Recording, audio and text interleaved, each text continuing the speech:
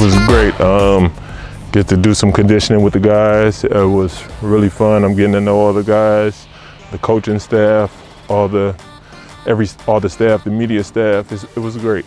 It's definitely more organized. Um, one of the most organized. Um, I see the GM a lot. You know, everyone is hands on, which which is good for for a team, for a player like me.